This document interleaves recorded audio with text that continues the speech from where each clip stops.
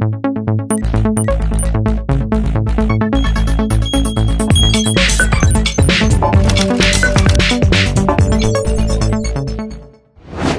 نتوجه بهذا السؤال إلى ضيفنا هنا في الأستوديو السيد رائد الخضر رئيس قسم الأبحاث في Equiti Group أهلا وسهلا بك. أهلا وسهلا طيب. من جديد ويعني يبدو أن العنوان العريض هو الآن الحمائية والحرب التجارية ونذر الحرب التجارية تؤثر حتى على مسارات الأسواق، يعني إلى أي مدى هذه الحرب مرشحة ربما للانفجار خاصة بدخول بكين على الخط والرد حتى هذه اللحظة. طبعا بدراسة تاريخية للتاريخ القصير اللي كان مرينا فيه منذ تولي ترامب لرئاسة الولايات المتحدة الأمريكية وهذه السياسة الحمائية اللي, اللي يعني بصيغة عدائية نوعا ما تبدأ. ومن ثم نشهد كيفية تدريج وتخفيف وتيرة أو تخفيف حدة ال ال ال يعني التهديدات ان ان صح التعبير، طبعا من المتوقع بشكل كبير أن ما حدث من الصين كرد اعتباري مجددا ردا على رفع الرسوم الجمركية على البيضاء الصينية. في الولايات المتحدة الأمريكية الرد كان نوعا ما يعني يثير نوع من الضغط على الاقتصاد الأمريكي أن هناك منفعة من الصين للاقتصاد الأمريكي الآن بنتيجة هذه الضرائب ممكن أن يصل الحجم الضغط حوالي 3 مليار دولار أمريكي وهذا بحد ذاته يمكن الصين من الحصول على بعض المفاوضات. ما ننظر إليه نحن كمتداولين في الأسواق ونظره لهذه الحرب التجارية، الحرب التجارية دوما لا تفيد أي طرف من الأطراف إنما تضغط عليها وعلى اقتصاداتها ولكن عادة الحرب التجارية تتصاعد مع وتيره الأحاديث والأقاويل التي تكون متبادلة بشكل رسمي ولكن تأثيرها مؤقت وتعود مجددا للأسواق إلى تداول معطيات الاقتصاد الجزئي وما إلى ذلك من معطيات نمو داخل البلد.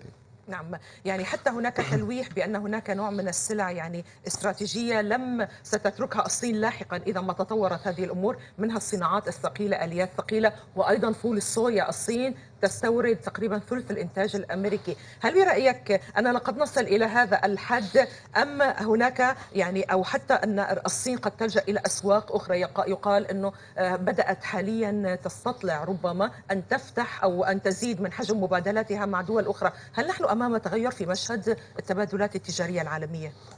يعني إذا عدنا إلى الفترة الماضية فالصين هي مستفيد أكثر من الولايات المتحدة الأمريكية في العلاقة التجارية المتبادلة خلال الفترة نعم. الماضية وهذا ما أراد ترامب تغييره في من خلال هذه الرسوم الجديدة. طبعا الصين تعي تماما أنها لن تعود العلاقات كما كانت مجددا مع الولايات المتحدة الأمريكية وممكن أن يكون هناك خسارة بعض المكاسب من الطرفين ولكن مكاسب الصين سوف تكون هي الأكبر خسارة من مكاسب ال ال ال الولايات المتحدة الأمريكية لأنه أساسا في عندنا هذا الجاب الكبير كان الآن الصين يعني نظرنا إلى اقتصادها خلال الفترة الماضية لاحظنا تتجه إلى العديد من الأسواق الجديدة وتتجه إلى خلق تجارات جديدة وعلاقات تجارية جديدة سواء كانت مع الشرق الأوسط أو سواء كان مع المنطقة الأفريقية اجمالا.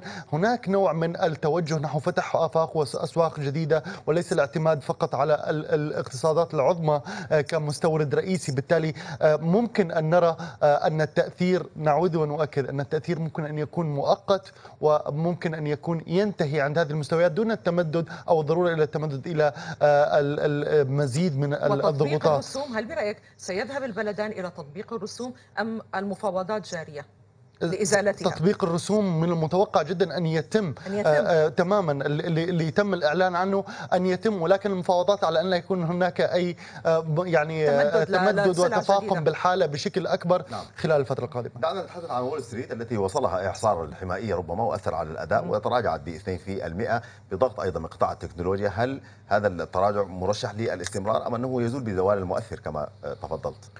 بالنسبة للأسواق الأمريكية فيعني لاحظنا أن عملية التصحيح القوية التي كانت خلال الفترة الماضية هي مؤقتة ومحدودة. عودة الارتفاعات كانت ضعيفة بعض الشيء. هذا يثير أنه الاقتصاد الأمريكي أو الأسواق الأمريكية ونتحدث عن أسواق الأسهم هنا لا تزال في مرحلة التصحيح لا تزال في مرحلة بناء قاعدة للعودة مجددا للارتفاعات.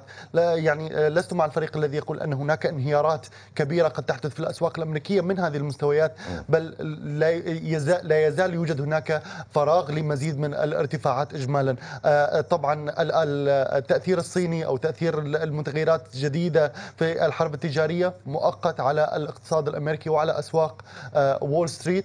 ويعني كنا في مرحلة عطلة لا يمكن الحكم بشكل آه، واضح. يعني ال Easter كان آه، ضاغط على الأسواق إجمالا خلال يوم أمس. اليوم ممكن أن يعني مع افتتاح الأسواق الأمريكية مرة أخرى قد نرى صورة أكثر وضوحا للاقتصاد الأمريكي خصوصا أنه عم ننتظر بيانات مهمة جدا في نهاية هذا الأسبوع. نشكرك السيد رائد الخضر رئيس قسم الأبحاث في Equiti Group شكرا لوجودك معنا في البرنامج. شكرا لك.